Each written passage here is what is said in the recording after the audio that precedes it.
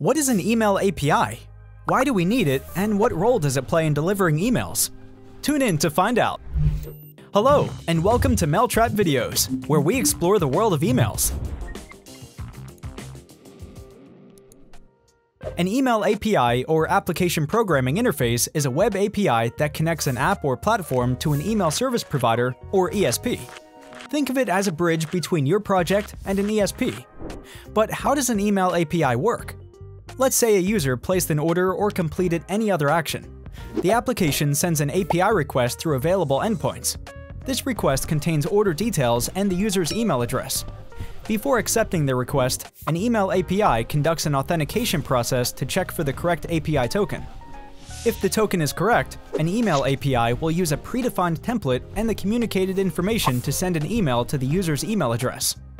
For analytical purposes, the system that provides the email API tracks and records the user's interaction with the email, including opens, clicks, bounce rates, etc. Finally, once the request is processed, the email API sends a response using HTTP status codes, usually in JSON format. Email APIs have two main types.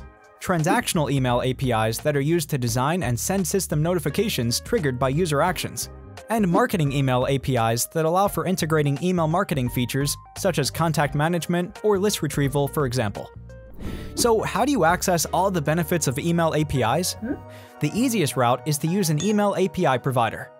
This is a company or a service offering an email API and any infrastructure, tools, and resources needed to integrate it into your app.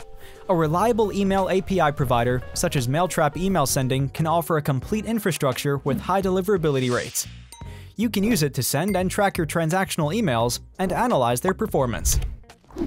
That wraps up our quick overview of Email API.